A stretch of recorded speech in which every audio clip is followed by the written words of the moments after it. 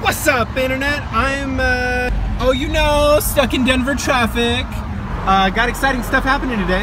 I, along with all of these people, just kidding, there's a whole two other cars carpooling. I had to go alone because I had to be on a call for the last hour. But, uh, anyway, uh, like eight of us are going to ET3 today, which is a company that builds Hyperloops. They are going to be awesome and explain to us their technology and what they're doing, and I am all sorts of excited about it. And traffic's picking up, so I guess I'll explain it to you when I'm parked. Stay tuned, it's going to be so cool! We the best. Part of me wishes we could have this meeting at that uh, that theme park over there, though. Oh well. First stop, lunch with Marcus. hey, Marcus. Uber drivers. Magnetic levitation or maglev in short, truly is the technology of the future. and has a Yeah. Um, and then people from DC who are kind of regular. This into the magnetic field when this is not in the superconducting condition. We had a good tour. It's a nice day. Now we're getting ice cream. And D offered to pay for it, so things are okay. Then we have an email to put together, pitch to do, that sort of thing. It's a good day. All right, final activity for the day, downtown tour with Marcus. We're gonna do it. And convertible. Okay, up next, just a, just a little bit of drone flying. Just a, just a little bit. Don't worry about it. Should be a good time. It's a good looking town you got here. I like it a lot. That's so cool. So cool. Peep how cute downtown is. Very cute.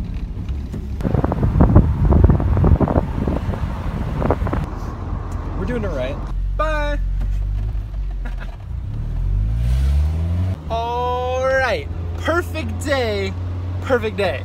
So much good engineering, question asking, stuff, exciting experiences, conversations, introductions, exploring town, convertible drives, crashing drones.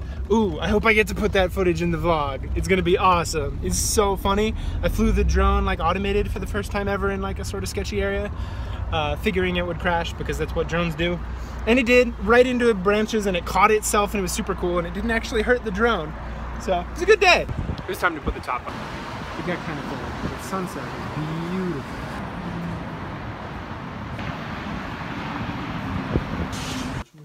Uh-huh. Okay. This is the one that's sitting on the Mac. It's local file system. Mhm. In the shared directory between this virtual machine and on this machine where the code is built. Right. Right. So you see the executable. Mhm. Right. So now I can literally do the executable. And we end the day in Dad's office with him explaining three terminal windows and a compiler that he's put together to make that clock, that little, that little tiny green clock. There will be a video about that in the future. You'll see it. There will be. Stay tuned. Okay, here's the deal. We got a blue seems like that, and we should also do green.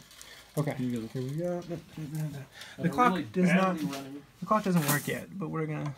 Here's green. Woo! And here's blue. So it moves. And it, it's not supposed to move like that. But when it's not freaking out, it'll tell you the time based on where the marble is. See, it's 30. Stop. 32. Stop.